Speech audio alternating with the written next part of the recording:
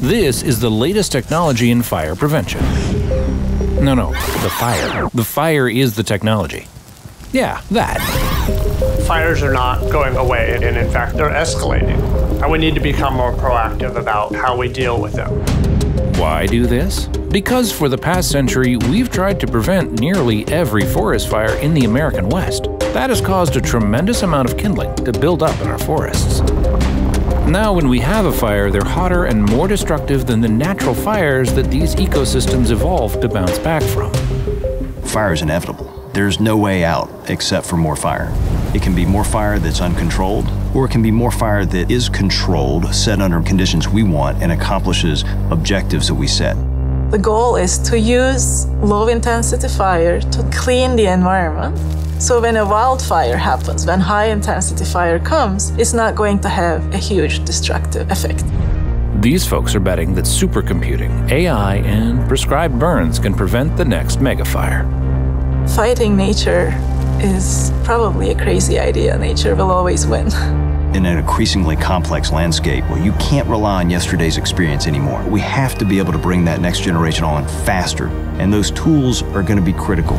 This is Hard Reset, a show about rebuilding our world from scratch.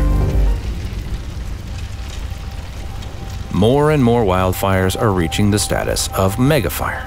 Dozens of major wildfires continue to burn. Single largest in the state's history. Mass casualty event. Over 12 million acres of the country has burned. That's bad, but it has generated an incredible amount of data about fire behavior. We're at the UC San Diego Supercomputing Center, where these folks are using AI and cutting edge sensor data to help restore the natural balance of fire in our forests. Click on anywhere here, and it's growing up in the west coast of Turkey. I've seen fire, but it wasn't anything like a wildfire.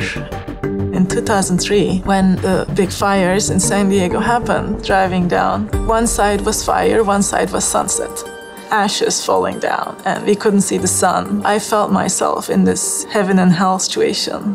This is Ilkay. She's one of the world's leading experts in supercomputing, and she's working to change how we manage wildfires. She's also got one of the biggest computer monitors I've ever seen. I like a lot. Makes sense. Supercomputer, super monitor. Um, okay. Fire and its behavior and its effects in the environment is complicated. Good news is, if you know enough about weather, vegetation, and fuel, and the topography, it can be modeled. WIFIRE combines all this data about our forests and allows researchers to simulate how fires would behave, and how that fire's behavior might be different if things like humidity, wind direction, or fuel levels change.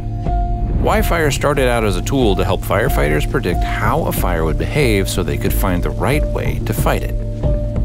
But these simulations can also proactively help forestry professionals plan where and when to have prescribed burns so they can prevent the kind of wildfires we're seeing now.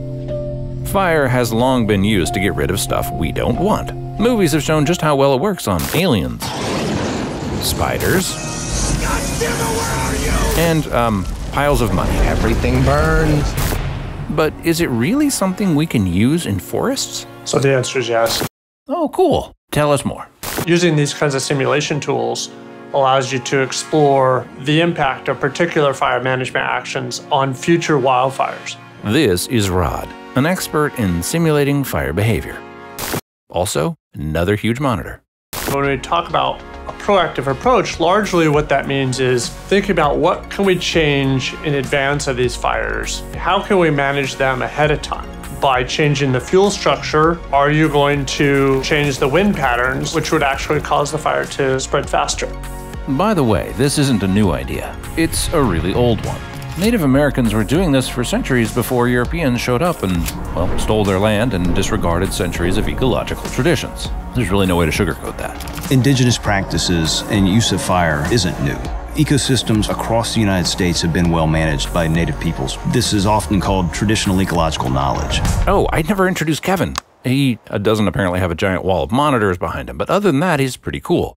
He's an expert in controlled burns. Recognizing that there are multiple ways of moving from where we are to a successful future with fire is absolutely critical.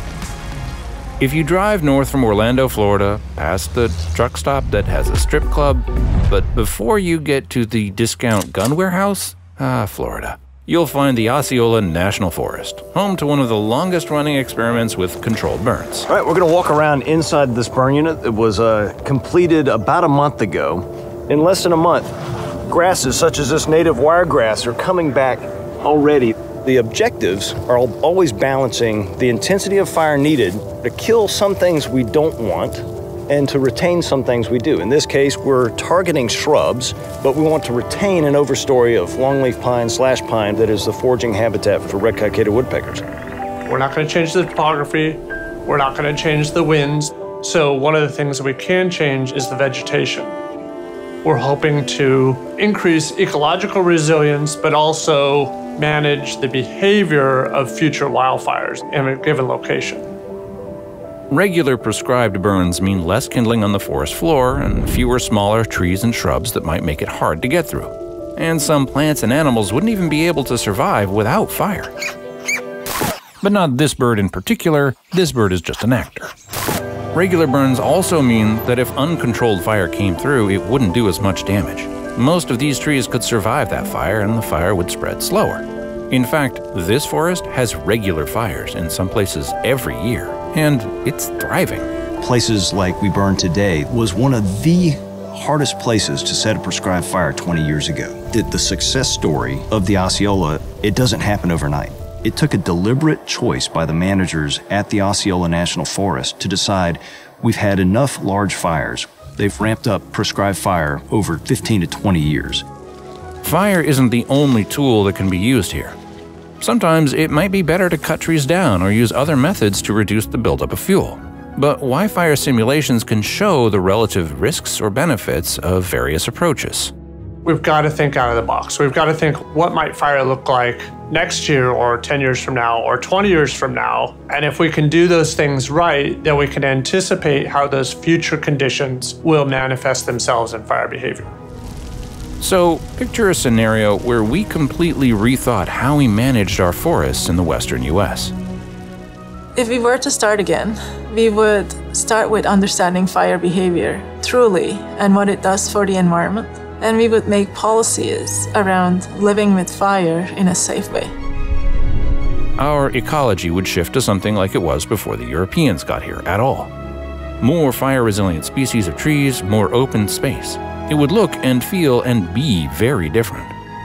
And we wouldn't constantly be afraid of the next raging wildfire that might destroy our home or town. We'd know they were coming, and we'd be ready for them. Fire is a natural event. It's going to happen, and we need to learn to live with it. We need to learn to make peace with it. To get the forests in California alone back to something closer to their natural state, we'd need controlled burns for over a million acres a year for 10 years straight. That's actually possible, but not without employing an army of people. Thousands and thousands of people would need to be employed in the forestry industry.